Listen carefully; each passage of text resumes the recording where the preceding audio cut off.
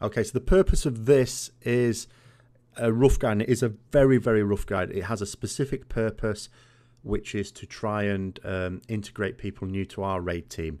So it has very specific strategies. Um, it is not intended as a guide for other guilds to follow. Uh, it's specifically for our guild so that new people can pick things up uh, quite quickly because quite a lot of new bosses potentially that will be asked to do in a night.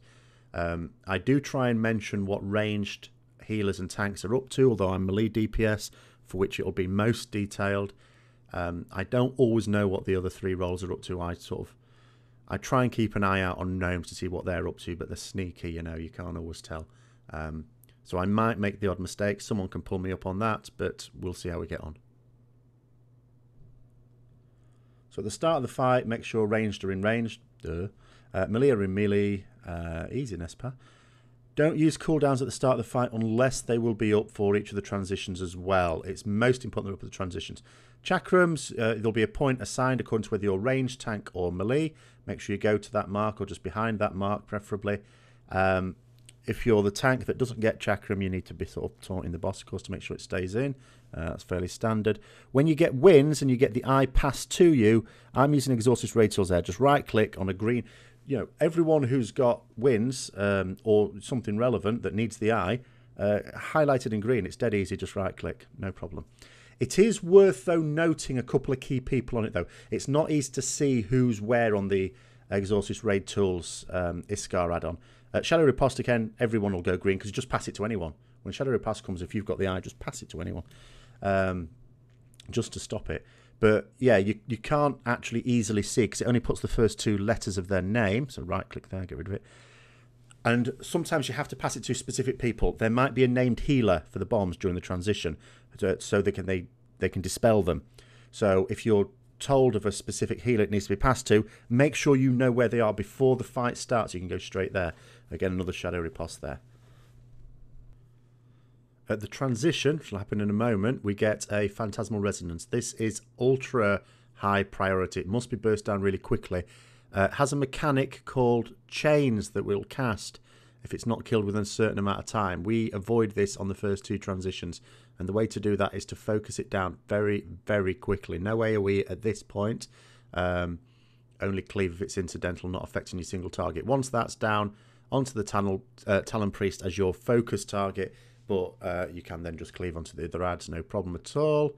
Um, even when the boss returns down, if you haven't killed the Talon Priest in time, you'll obviously stay on this ad until it is dead. So the boss is coming down, still stay on the Talon Priest. That has to die before you go back on the boss. Of course, you can cleave onto the boss, no problem. But keep its uh, keep it there. You notice the range when they're getting the uh, beam um, fire.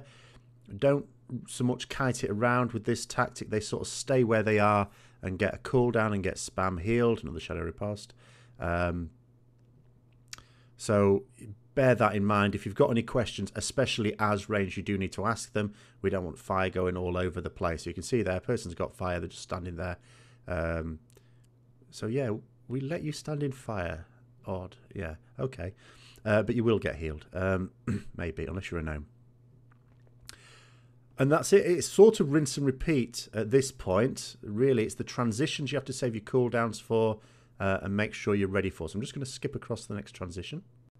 So the next transition, it's the same thing. It's it's phantasmal resonance. Burst it down. Maximum focus on the phantasmal resonance um, because we don't want the dark bindings. But as soon as this has died, you notice there's another. It's just like in heroic at this point. So once the phantasmal resonance has gone down, uh, it's exactly the same priority as on heroic. You take out the Shadowfel Warden uh, as your maximum priority, cleave onto the others. Obviously, this needs interrupting. Um, kind of be interrupted by someone with the eye.